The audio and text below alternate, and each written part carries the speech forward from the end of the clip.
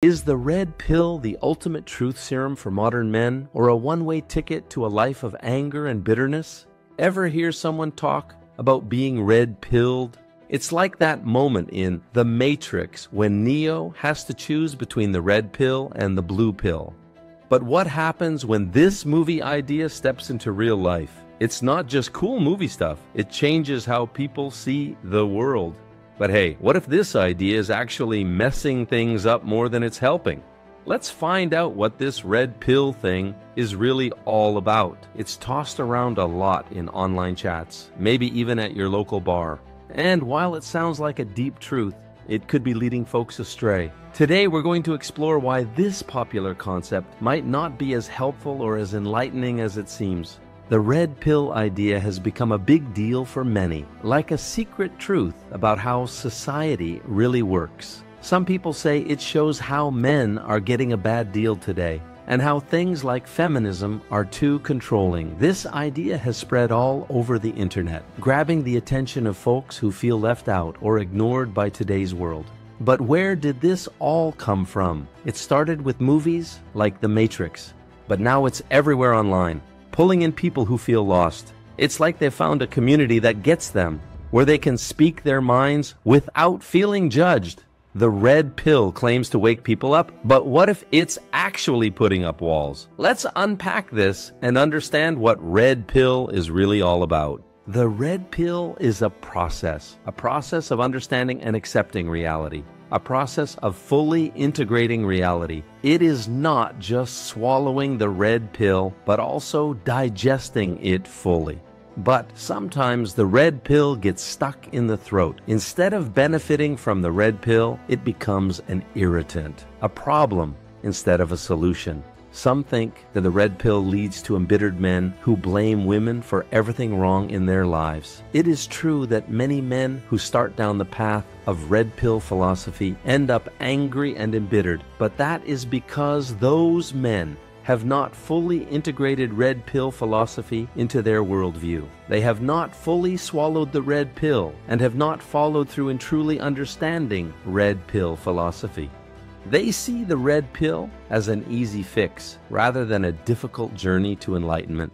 Why do some people really get into the red pill idea? It's not just random, it's because they feel overlooked or powerless. When changes in society make people uncomfortable or scared, they might turn to ideas that promise easy answers or someone to blame. They think Red Pill offers a way to make sense of their frustrations by pointing fingers at modern changes like how men and women are supposed to act. For some, it's more than just a response to change.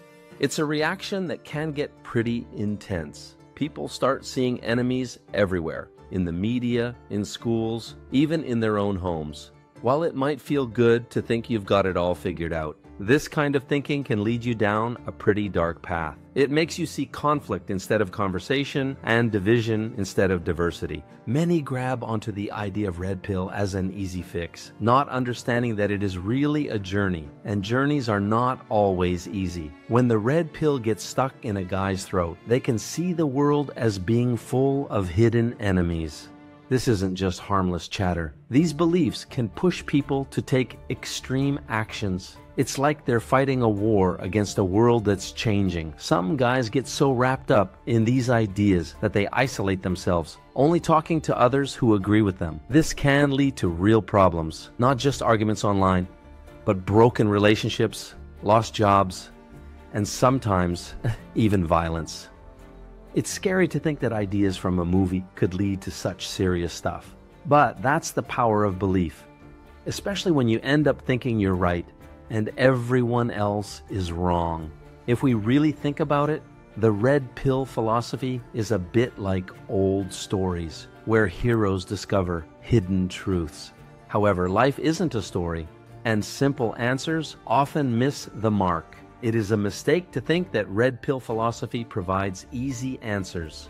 Human behavior is complicated, We're influenced by our biology, sure, but also by our experiences, our culture, and our personal choices. Saying there's only one way to be a man or one way to be strong doesn't really fit with what we know about how people really are. We all have different strengths and challenges, and that's okay. It's what makes us human. Shouldn't we be trying to understand each other better instead of pushing everyone to be the same? Maybe it's time to put away simple labels and start appreciating the complicated, interesting people we all are. Those who have only partially integrated red pill philosophy have renounced women and society at large, but don't have anything to replace it with are left angry and bitter. It changes how they interact with everyone, a family, friends, and others. It can turn every relationship into a struggle, a competition to be the real man or to prove who's in charge. That's no way to build a life or a society. We all lose when we see each other as opponents instead of as partners. On a larger scale, when lots of people start thinking this way, it pulls us apart instead of bringing us together. Those who have not fully integrated the red pill, those with it stuck in their throats, think it offers a simple solution to everything. But life's not simple. It's messy, confusing, and beautiful because of all that mess. Real wisdom isn't about finding one big truth that explains everything. It's about learning how to live well in a world that doesn't always make sense. They try to make everything black and white, but life is full of colors. By embracing that complexity, we can find better ways to be ourselves and to connect with others.